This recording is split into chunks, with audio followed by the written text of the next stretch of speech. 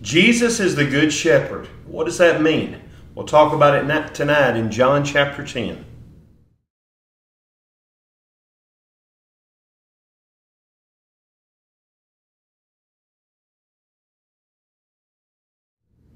Well, welcome back to the Sawyers Family Bible Study. We are uh, hoping you're having a good Lord's Day. We're thankful that you have chosen to study uh, in the Gospel of John with us tonight. We uh, are in John chapter 10 as we continue through the Gospel of John. If you've missed out on any of these studies, you can find them in all the places that you have found tonight's studies the Bear Valley Church of Christ YouTube channel, the Bear Valley Church of Christ Facebook page, the Bear Valley Bible Institute Facebook page, my Facebook page. If you would, please let us know where you're watching from. Comment on this video. Uh, like and share this video, and most importantly, we hope you'll take your Bibles out and study along with us. There's lots of these kind of studies being put out right now. We say it, uh, I think, every Bible study, but there are a lot of them being put out right now, and we are thankful and humble that you have chosen to study along with us. And hopefully, what we uh, look at in John chapter 10 will be uh, beneficial to you. John chapter 10 is a that's a great chapter uh, because there are so many familiar concepts and verses in John 10. There's also a number of great lessons in John 10. And he begins in verse 1. This is Jesus talking. Now remember the conversation that we ended chapter 9 with. There's no indication that that the scene has shifted and yet the, the tone and what he's going to talk about is, is really a little bit different. But in chapter 9, you have these people that were unwilling to see the evidence in front of them. The blind man could see what those who saw chose to be blind about. Uh, the only reason they didn't get who Jesus was was because they chose not to see him. They chose not to hear him. And that's really an important concept that you're going to see in John chapter 10. It begins in verse 1 Truly, truly, I say to you, he who does not enter the sheepfold by the door, but climbs in by another way, that man is a thief and a robber. Well, you have another one of these truly, truly statements that we've talked about so many times. You're going to have actually another one in uh, verse 7 of this chapter as well. And there are some people that, that call this teaching a parable. It's not really, it's a figure of speech. Um, there's not, that's one of the things unique about John is he really doesn't have the parables like we see in the other gospel accounts. What we do have in, in this passage is, is just kind of talking about the way that life really was in Palestine during the time that Jesus lived on this earth. Um, you, have got his, his he's going to talk about caring for sheep and We've got to keep it in that context of the, the time and the place in which Jesus is writing, uh, or is rather is giving this information, the time and place in which John is writing this. In the first century in Palestine, shepherding was done vastly different than it's done today in, in our culture. Um, in Colorado, where we live, there's lots of sheep farmers. There's not so many in West Tennessee, where we're from and where we are, obviously, right now in my father in law's uh, Tennessee room. But, um, you know, I've talked with a lot of, of sheep farmers. I used to say that sheep were dumb. I had a, actually a sheep farmer in Tennessee when I was preaching in Macedonia informed me that they are not dumb, they're just very helpless. They need lots of help and, and thus a need for a shepherd. But uh, you know, I've talked with with lots of guys that sheep farm out in Colorado, and they talk about turning them loose up in the mountains, and then they'll take four wheelers and dogs and drive them where they want to go and drive them back home. And that's not the way things were done back in those days. Um, in those days, you had a shepherd that cared for the sheep. You had these these sheep uh, folds that that he's going to get into. Um, a little bit greater in detail a little bit later, but he mentions here in verse 1 they, they were these enclosures that were made out of brush and rock and whatever the shepherd could find to make a sort of a corral. It was very crude. Uh, wasn't a, like a formal pen with the fencing like, like we might think of, but just kind of a makeshift way to, to protect the sheep when they bed down at night. They would make a little gate or a door on them, and anyone who had a legitimate reason to see the shepherd or to do something with the sheep would come to the door. Anyone not using that door would be up to no good. And we get that concept at 2 o'clock in the morning overnight. If somebody is climbing through a window into the house here, we're going to assume they're up to no good because that's not the way to get into the house. That that's what Jesus is talking about. Jesus is talking about shepherding, he's talking about sheep.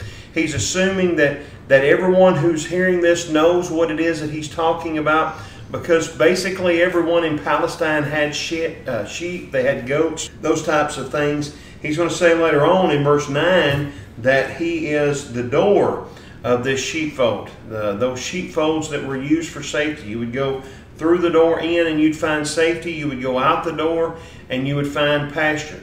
So this isn't a story about a particular thing. This is just the way things are in that time and place. And people who live in that time and place, they would understand all this. They would understand that he's teaching about something they do so that they can understand the concept. He's not talking about something that they didn't know. But it's, it is a figure of speech. Jesus is not really a shepherd in that he has a flock of sheep he's taking care of. That's not what he's saying. So there's a deeper meaning, like so many things that we see in John. There's a deeper meaning to all of this. In John chapter 10 and verse 11, if you jump on down, he's going to say that he's the good shepherd. Well, how is that? Well, he's going to tell us that the shepherd seeks the abundant life for his sheep. He wants what is good and best for them. He wants them to flourish, a shepherd does. And, and our shepherd, Jesus, wants us to have the abundant life. That's not a prosperity gospel kind of idea. That's the life that he's been talking about all through the Gospel of John, that relationship with the Lord. He wants his sheep to know that they belong to him. Um, you know, a lot of times these sheepfolds were used by two or three shepherds that would all bring their sheep together um, at night. It, would allow them to kind of, um, you know, take turns in watching the sheep, that kind of thing, safety in numbers, that sort of thing. Uh, so all three might drive their sheep in the sheepfold and camp out in the morning. In order to take my sheep out, I would just call to my my sheep that were in the sheepfold, and they would know my voice, and they would follow me out to the shepherd, uh, to the, uh, the pasture rather. And they knew who their shepherd was. They knew his voice. And he's going to talk about that in verse 16 of this chapter. He talked about that in chapter 8 in verses 37 and 43, and they're going to follow him. So to be one of his sheeps, we want to be one of Jesus's sheeps. To be one of Jesus's peeps, you got to be one of his sheeps. And to be one of his sheep, you got to listen to his voice and you got to follow him. Plus, you're not going to follow a stranger. So there, there's some good thoughts in this as far as leadership goes. One of the, the biblical terms that we use to talk about uh, elders, the leaders of the church today, is a shepherd. That's a, a scriptural term for them. So, uh, you, a lot of good lessons for for shepherds today, just in this in this chapter. You, you got to know the people if you're going to lead them. They got to know you. They got to know your voice. They got to be used to hearing you. Those types of things. That's what Jesus says. Um, is that uh, this truly, truly statement, Amen, Amen, is all about the shepherd and the sheep. He says in verse 2, But he who enters by the door is the shepherd of the sheep. So verses 2 through 5 here, you're going to see some truisms. These are, these are just some facts. This is just the way that things are. He's the shepherd. He's not sneaky. So in verse 3, he says, To him the gatekeeper opens. The sheep hear his voice, and he calls his own sheep by name and leads them out. When he has brought out all of his own, he goes before them, and the sheep follow him, for they know his voice. A stranger they will not follow, but they will flee from him, for they do not know the voice of strangers. See, shepherd did, shepherds didn't drive their sheep back then. They lead them. Shepherds today in the church need to understand that you can't drive the congregation to do anything. You've got to lead them. So you want an evangelistic congregation, shepherds have got to be evangelistic. You want a, a friendly congregation, shepherds have got to be friendly. You want a hospitable congregation, shepherds have got to be hospitable. You want an involved congregation, shepherds have got to be involved. Um, you want a spiritual congregation, shepherds have got to be spiritual. It, it goes back to one of my favorite uh, lines from any movie, from Remember the Titans attitude reflects leadership, Captain. And it just does. Uh, so, not cracking the whip, but leading out of love. You might look at Hebrews 13 and verse 7 if you want to write that in your text there. If they truly believe that you're a man of God, if they truly believe that that uh, you're um, someone who's trying to live for the Lord, to follow Jesus and respect you, they know you're speaking the Word of God. You, they know you're looking out for their best interest. Their people will follow you, and they'll do so willingly. Uh, but but that's what it takes. Now, the point that Jesus is really trying to make here is is that He is all those things. He is the Good Shepherd. He's going to say here in a few more minutes. And so there's no doubt that that we ought to be following Him. Um, it, it could be that if shepherds, if a congregation is not heading in the right direction, it could be that local shepherds are not leading in the right direction. But for the, the flock as a whole, okay, the church as a whole, our shepherd is Jesus. He's the one in charge. And if, if we're not heading in the right direction, it's not a leadership problem. It's a failure to follow leadership problem, is what it really is. Okay? In verse 6, then, he says, This figure of speech Jesus used with them, but they did not understand what he was saying with them. You know, Jesus had tried almost every imaginable way, but they still haven't been able to fully figure out who he is, nor what he's really here for. So, verse 7, Jesus says again to them, here's another one of truly, truly. Truly, truly, I say to you, I am the door of the sheep. All who come before me are thieves and robbers, but the sheep did not listen to them. See, he is the shepherd, but he's also the door to the sheepfold. And uh, this goes back to, if you hold your finger there and you turn back in your Bibles to Ezekiel chapter 34, um, this was terminology, this figure of speech that he's using. Don't, don't think it's, it's that we don't get what... Um, they didn't understand what Jesus was talking about. We don't get it because we don't understand that this is a figure of speech. This was not a the first time this figure of speech was used. If you look back in Ezekiel chapter 34, beginning in verse 1 and really going down through uh, verse 11, what he's going to talk about is, is the, the shepherds of Israel and how that they weren't really caring about Israel. They only cared about themselves. The shepherds were the leaders of Israel. And those leaders of Israel, God is saying through Ezekiel that they only care about themselves. They don't really care about Israel, the sheep. Uh, they had not laid down their life for them. So in verse 11 of Ezekiel 34, it says, For thus says the Lord God, Behold, I, I myself will search for my sheep and I will seek them out as a shepherd seeks out his flock when he's among his sheep that have been scattered. So will I seek out my sheep, and I'll rescue them from all places where they've been scattered on a day of clouds and thick darkness. So what, what God is saying through Ezekiel is, is that the shepherds of Israel haven't done a good job of being a shepherd. So what's going to happen, God says, is I'm going to have to come be the shepherd to my sheep. You haven't done the job. You haven't done it well. You haven't done it at all. So I'm going to be the one to have to come and gather my, my sheep together and be a, a shepherd to my people, to my sheep. So when Jesus says, I'm the shepherd, going back to Ezekiel chapter 34, it's really another way of Jesus saying, I am God. And they would have understood that. And this is just another one of those signs that points out that Jesus is God. Remember, that's what the point of this book is. John 20, 30 through 31. We say it almost every class, I think, but that's the purpose of the book. Is that these signs will help us believe that Jesus is the Messiah, that He is the Christ, that He is the anointed one, and believing in that, that we can have eternal life. We can have that right relationship with Him. Jesus is saying, when you read back in, in Ezekiel 34, verses 11 and 12, God saying, I'm going to come be the shepherd to Israel, that's me. And, and Israel had had shepherds, uh, good shepherds at times, mostly bad. Uh, you might write down Numbers chapter 27, verses 16 through 17 talks about that. Moses was a shepherd of Israel. Joshua was a shepherd. The uh, elders of Israel were a shepherd. Uh, Exodus chapter 18. The prophets and priests were seen as shepherds. The kings were supposed to be shepherds, but their leaders had led them the wrong way.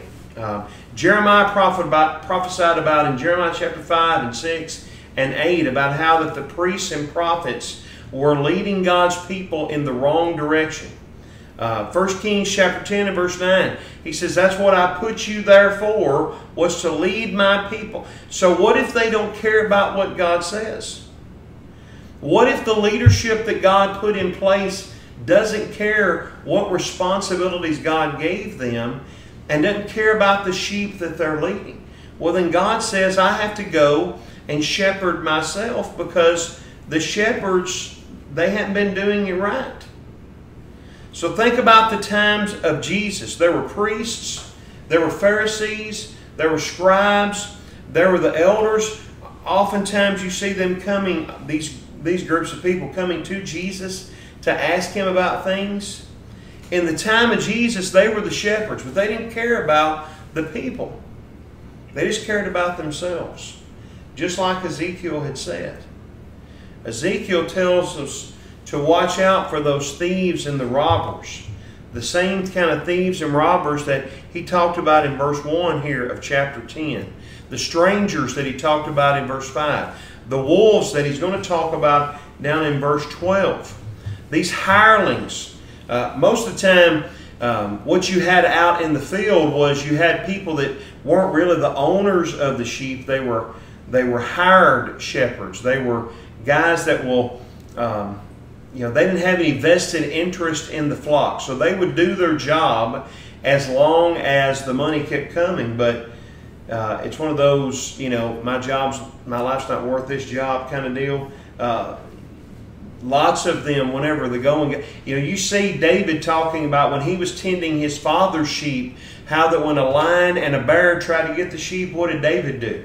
Well, he stood up to that lion and bear, right? Because he was going to make sure those were his father's sheep. They were his sheep to a certain extent. He was going to make sure that they were taken care of. But if you didn't have that vested interest, that familial uh, investment into those sheep, what are you going to do when a lion and bear attacks? You're going to say, eat the sheep, not me, right?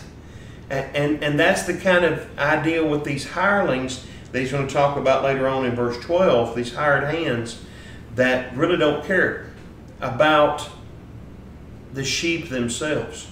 In verse 9, he says, I am the door. If anyone enters by me, he will be saved and will go in and out and find pasture. The thief comes only to steal and kill and destroy.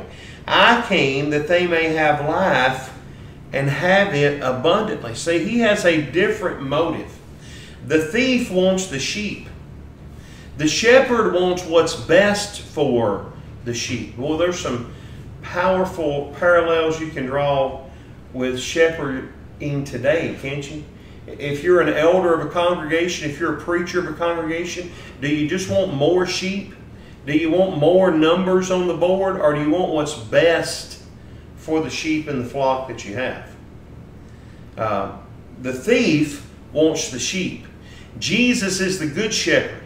So he wants what's best for the sheep. Well, what, what is it that he wants for them? What he wants for them is that they might have life and have it abundantly. This life in the Gospel of John is eternal life. It is your relationship with Jesus. It is your relationship with God. John chapter 17, verses 1 through 3. It's to know God and to know Christ. That's eternal life. And that's why he came. And that's what he wants for his sheep. So, who has your best interest as heart? As far as people is concerned, really and truly, there's just a handful of people that really have your best interest at heart. Uh, there's lots of people that may care about you. There's lots of people that may love you and value you. But really and truly, there's very few people that really have your best interest at heart. That would rather you have what's best for you, even if it hurts them or takes away from what they need or want or desire, those types of things. When you feel like there's a Christian leader who is really one who has your best interest at heart, no personal agenda, he just wants what's best for you, doesn't that inspire you to follow them? Jesus is, it, you know, we have this idea, well, well um, you know, my parents are just trying to hold me down, or the elders are just trying to hold me back, or my boss is just trying to hold me down, or um, maybe even the Lord is just trying to, to hold me back or cramp my style. It isn't that at all. It's that He's trying to protect you from the wolves, from the hired hands. He's trying to do what's best for you. So when He says that marriage is an institution that should be for one man and one woman for life, why is He saying that? Because He has your best interest at heart. When He's saying that that uh, husbands ought to love their wives as their own body and in Christ as, as Christ did the church. Why is he saying that? Because he wants you to be a softy? No. It's because he wants what's best for you. Uh, when he says don't abuse drugs, when he says, um, you know, don't get addicted to these certain things, when he says don't be a practicer of, of these certain lifestyles, why is that? It's for your own good. It's not that he's trying to hold you back. That, that's not why your parents gave you rules, because they didn't care about you. It was the opposite, wasn't it? Because they did care about you. All Jesus is concerned about is what is best for us. So in verse 11, he says, I am the good shepherd. The good shepherd lays down his life for his sheep. I am the good shepherd. Again, Ezekiel 34, 11 through 12. I am God, is what he's saying. I am the good shepherd. To the Pharisees, the teachers of the Bible that were in that crowd that they were he was talking to, they could not hear Jesus saying what he says in John 10, verse 11, without thinking about Ezekiel 34. They couldn't have. And Jesus says, I am the good shepherd. That's saying that I am God. Number two, he's saying, I am the good shepherd. Well, what makes him the good shepherd? Because unlike the hired hands that don't really care about the sheep that's going to run when a bear or a lion attacks, the good shepherd is the one that's going to put himself between the lion or bear and the sheep, between the wolf and the sheep, between the robbers and the sheep, and say, if you're going to get to them, you're going to have to come through me we, we've never really talked about this, but every time that our family has stayed in a hotel room, no matter what side of the bed we normally sleep on, I always sleep on the side of the bed that is closest to the door of the hotel. Now, maybe it's not necessary, but subconsciously, my thinking behind that is somebody comes through that door, they're going to have to go through me to get to my family. Jesus says the only way they're going to get to you is to come through me. I'm willing to lay my life down for my sheep. And he's going to prove that before this book is over, isn't he? That he really is the good shepherd. In verse 12, he who is a hired hand and not a shepherd, who does not own the sheep, sees the wolf coming and leaves the sheep and flees, and the wolf snatches them and scatters them, because the sheep doesn't belong to him. So he just does what's in his own interest, what's best for him, not what's best for the sheep. Snatching them and scattering them, uh, that the the word, the original word there in the Greek is a word that uh, literally means to snatch something like a dog.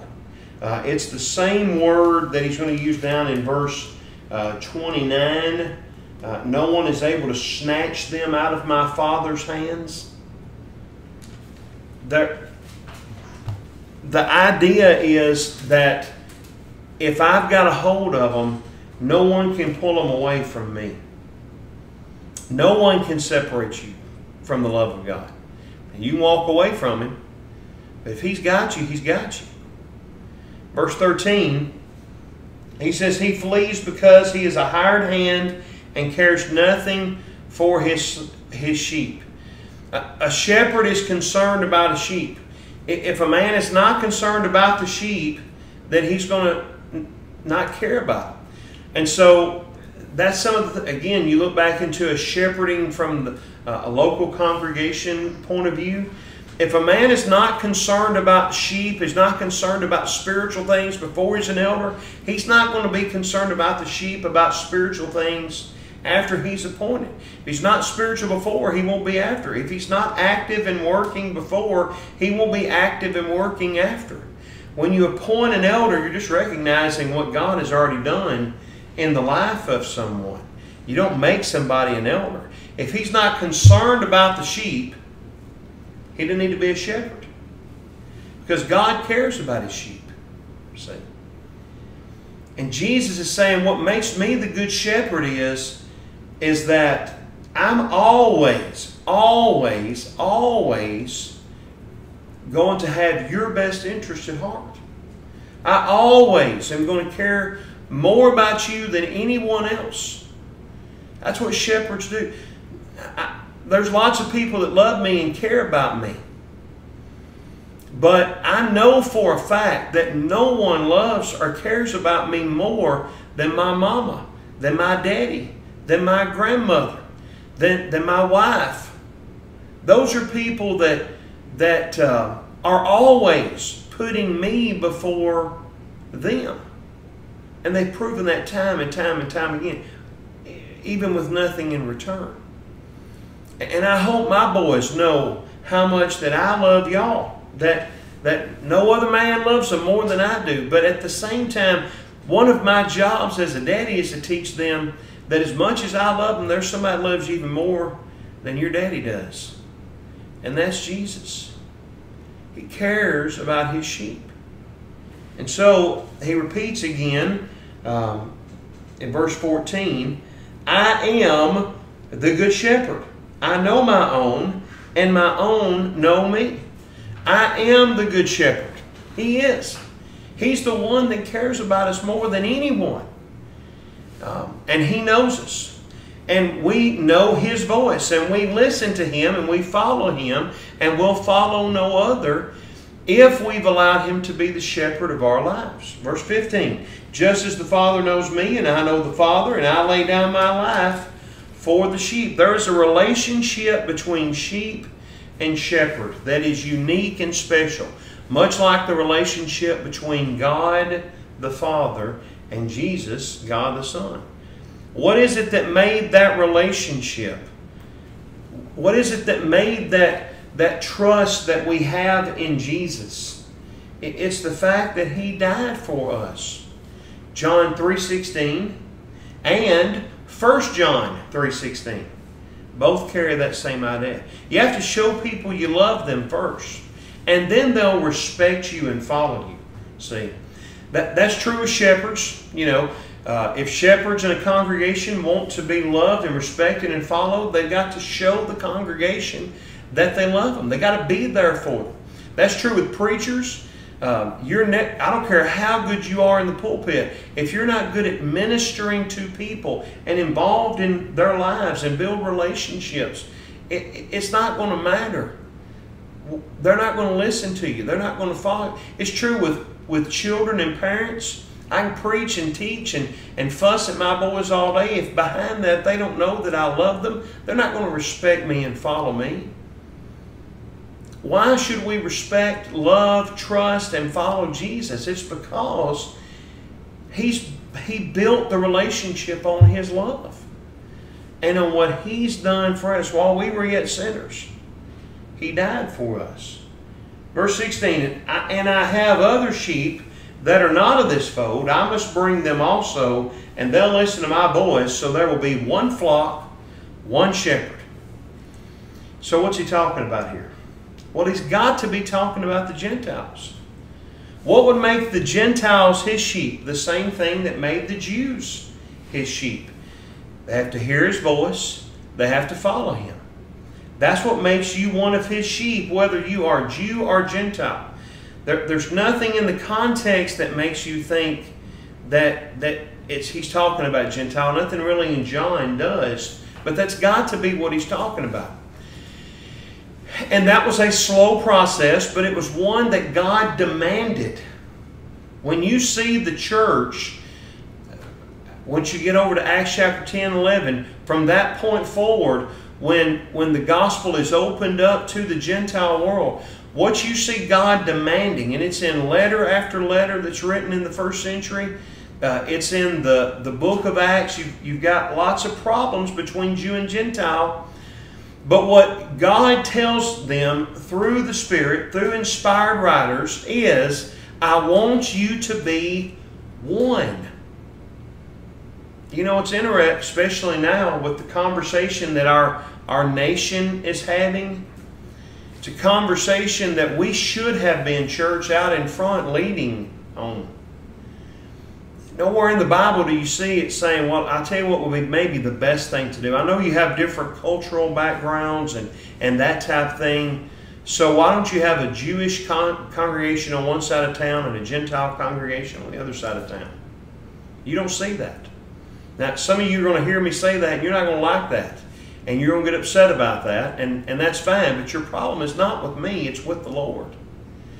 And as long as we are showing the world that there is not one flock, then we're showing we're not really listening to the shepherd. And, and it's time for us to be one flock. It's long past time for us to be one flock. That's what he wants us to be. Verse 17. For this reason the Father loves me, because I lay down my life that I may take it up again. No one takes it from me, but I lay it down of my own accord. I have authority to lay it down, and I have authority to take it up again. This charge I have received from my Father. Lay down my life becomes a key phrase here. God sent Jesus to lay down his life. It's not being forced on him. He wants to do it. He wants to do that for sheep. He, one of the things that's interesting, if you'll notice, uh, the, the next time that Jesus uses this kind of terminology is when he's talking to Pilate. See, Jesus was in control that whole time. We sing the song, He could have called 10,000 angels to destroy the world and set him free. Actually, the Bible says He could have called a lot more than 10,000 angels, but I, am thinking 10,000 would have done the trick. To, if He'd have wanted to wipe out everybody, that would have probably been enough. But He didn't. Jesus, John chapter 1 tells us, is the creative force behind all this. Before the foundation of the world, this plan was in the mind of God before creation ever happened, God knew that we would sin, that we would turn away, and God, in His righteousness and His holiness, would demand a penalty for sin. But God, in His graciousness and His love, would say, I'm going to pay the price for you. And the one who pays the price the one who actually is going to go to the cross and die is the same one, John 1 says, that said, Let there be. And there was. All things were created by him, nothing was made that was not created. So it seems to me that if you knew this is what it was going to come, why even create it? I've heard people that, that you know put in swimming pools behind their house, and three years later they're like, I don't know why in the world put that swimming pool. If I knew it was going to be this much trouble, I never would have, never would have done it. Jesus knew we were going to be this much trouble, and He did it anyway. That's love. But He was in control the whole time. He was going to submit to the Father's will. He laid down His life, and then the good news is He's going to take it up again. Verse 19 says, here we go again. There was a division among the Jews because of these words. Seems like there's always a division when Jesus speaks, isn't there? There was in chapter 6, there was in chapter 8, and now there is again. And here's the division some reject him, and some accept him. And there's no middle ground. And you know what makes the difference of whether you reject him or you uh, accept him is what you do with his words. Do you reject his words or do you accept his words? Now, what makes the difference whether you reject his words or accept his words? In context, who hears his voice? His sheep. Sometimes we don't listen to what he says and we don't do what he says, not because we don't know it, but because we don't really want to be one of his. Sometimes we don't go to church because I know what they're going to tell me I need to do and I don't really want to do it. Sometimes we don't want to talk to the preacher because I know what he's going to tell me I need to do and I don't really want to do it. Many of them said, He has a demon and he is insane. Why listen to him? Others said, These are not the words of one who is oppressed by a demon. Can a demon open the eyes of the blind? So, this idea of being a demon has come up before back in chapter 7. They've tried it a time and again to say this is maybe what, but it doesn't make sense. He's a guy that brought sight to the blind. Remember, we saw that in chapter 9 on Friday. So, what's the point of the first 21 verses of John chapter 10? Jesus is the Good Shepherd, and Jesus is the door. He's the only way to get into safety, to go through to get to pasture. He's the only one we can trust and follow. It doesn't matter who the preacher is. It doesn't matter who the elders are. The preacher's not in charge. The elders are not in charge. You know who's in charge? Jesus is in charge. And we've got to listen to Him. We've got to follow Him. Not because Corey said it, not because you like the way I teach or preach or don't like the way I teach or preach. We're accepting or rejecting Jesus and His words. So which, which camp do you want to be in? Those who reject Him or those who accept Him? Are you willing to listen to the voice of the Good Shepherd? He's proven His love for you and that He laid down His life for you. Then he took his life up, proving that he was who he claimed to be. He deserves our respect. He deserves our honor. He deserves our love. And if we get who he is and if we get what he's done for us, we can't help but want to be one of his sheep and follow him. Let's pray. Our Father, we are grateful for your love and mercy and compassion that allowed uh, your son Jesus to come to this earth and be the, this perfect sacrifice, the perfect atonement for our sins. Father, we're thankful that He is the Good Shepherd. We're thankful that we have His example to follow. And we pray that we would be true followers of Him, that we would seek to be like Him, that we would seek to honor Him and glorify Him in all that we say and do and think, that we would not be shy about telling others about Him because we can't help but want to tell others about the great love that's been shown to us by and through Jesus. And Father, tonight especially, we pray for our shepherds of our congregation. Not only the Bear Valley congregation, but so many other congregations throughout the Brotherhood that, uh, especially here lately, have had to make such hard decisions. We pray that you would strengthen them and encourage them that you would help us to uh, be lifters of their arms and, and to be supporters and encouragers of them, to show our love and respect for them. Help them to set the right example and lead us in the right way. Help us to be those that are easy to lead. Help us to unite into one body. Let nothing divide us. Not, not skin color, not racial, not places that we live that are different on the earth, not economic status. Nothing divide us. That we might be one. And because we have the unity and the love that we should in Jesus, that the world around us would see us and know that we're His disciples. and in a very divided and fractured world right now, that they would want and thirst for that kind of unity, that kind of love, that kind of togetherness. And it allow us to show us, show them about you and about your love. Father, thank you for Jesus. Help us to love him and you more every day. Help us to love each other more every day. And help us, Father, to do all we can to bring honor to your name. It's in Jesus' name that we pray. Amen. Well, we are glad that you are here with us. We are thankful that uh, you have chosen to be with us. Hope you will uh, come back on Friday night. Now, don't remember Wednesday. Don't forget, rather.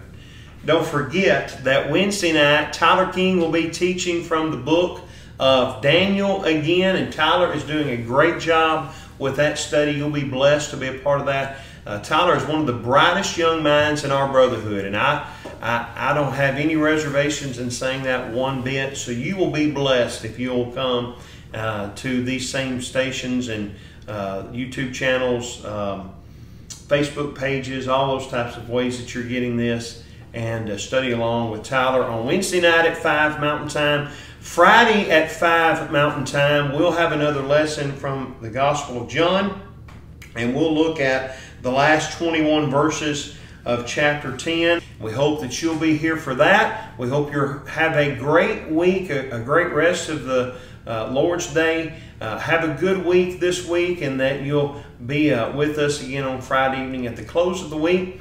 Most of all, we hope you remember that we love you and God does too.